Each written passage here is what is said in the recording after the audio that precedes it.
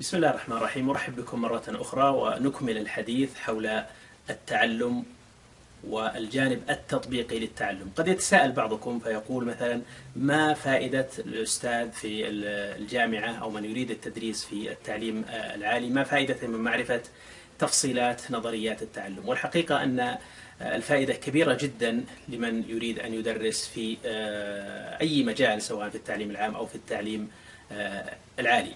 فالتدريس في الواقع هو تطبيق لنظريات التعلم لكن قد ندرك أن هذه نظريات تعلم وقد لا ندرك ذلك لكن كل من يقوم بالتدريس بطريقة معينة فإنما هو في الواقع يطبق قناعات ومبادئ لديه فيما يتعلق بالتعلم سواء علم ذلك وأعلنه ووعاه أو لم يعلم ذلك.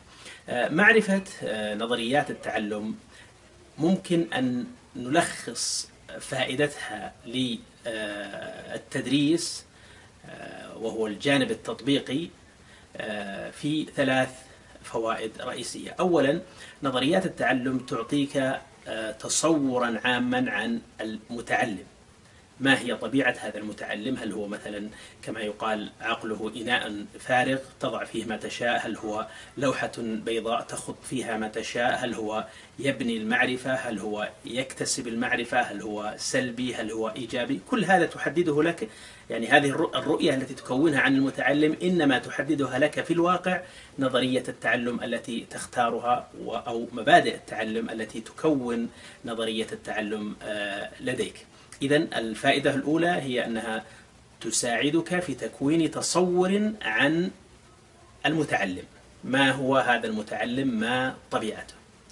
الأمر الثاني أنها تساعدك على بناء خطوات أو خبرات التدريس. فكل واحد منا يبني استراتيجيات في التدريس أو خبرات التدريس أو خطوات التدريس بناء على هذه النظريات. فمثلا من يرى النظرية السلوكية سيركز على تهيئة البيئة التي تثير المتعلم، سيركز على جعل المتعلم يعني متلقي أو بشكل ما سلبي بحيث ينفعل لما يتلقاه من من مثيرات في هذه البيئة، سوف يركز على قضية التكرار سوف يحرص على إبعاد أي مثيرات غير مرغوب فيها. سوف يحرص على تجنب الأخطاء بأي شكل من الأشكال الأخطاء التي يقع فيها المتعلم لأنه لا يريد فقط إلا استجابة واحدة من البيئة التي يهيئها ويعدها لإحداث التعلم. أما إذا كان يتبنى مثلا نظرية التعلم المعرفية التي تركز على عمليات التفكير وتركز على البنى العقلية فمن الطبيعي جدا أن يركز على كل ما ينمي عمليات التفكير ويركز على الجانب المعرفي على المعلومات على استقبال المعلومات تخزين المعلومات. كل ما يسهل هذه القضايا, القضايا سيركز عليه. لكن من يتبنى مثلا النظرية البنائية الاجتماعية سيركز على القضايا الاجتماعية ويركز على دور هذه القضايا الاجتماعية ودور اللغة في تنمية التفكير وفي بناء التعلم الذي يبنيه المتعلم بخلاف ما هو في النظريتين السلوكية والمعرفية.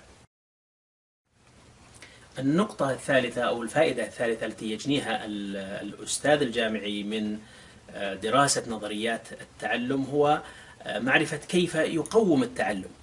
فإذا حددت من خلال تبني نظرية تعلم معينة حددت ما هي طبيعة التعلم أو على الأقل ما هي الخصائص العامة ما هي الخطوط العريضة للتعلم أمكنك من خلال ذلك أو بعد ذلك أمكنك من تقويم التعلم بشكل جيد. فإذا فمثلا من يرى أن التعلم هو حفظ سيحدد بالتالي كيف يقوم مدى تحقيق الطلاب لهذا التعلم. يعني كيف حفظوا. لكن من يرى مثلا أن التعلم إنما هو فهم فسوف يقوم بطريقة مختلفة. ولذلك من يتبنى نظرية التعلم البنائية الاجتماعية يميل إلى توسيع دائرة التقويم أو عمليات التقويم بحيث تشمل ما يسمى بالتقويم البديل وهي كل طريقة ممكن أن تزودنا بمعلومات عن مدى تعلم الطلاب. ليس هناك طريقة محددة.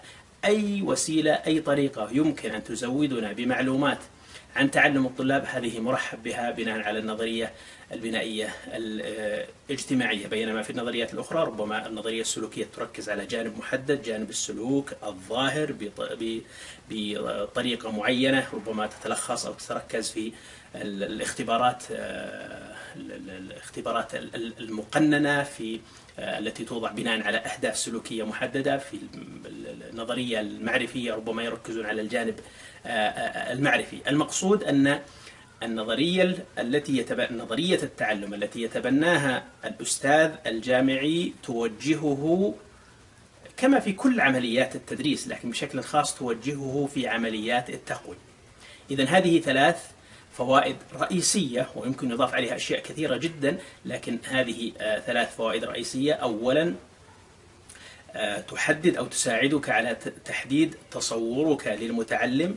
ثانيا تحدد آه، تساعدك على بناء طريقة التدريس أو أساليب التدريس أو خبرات التدريس.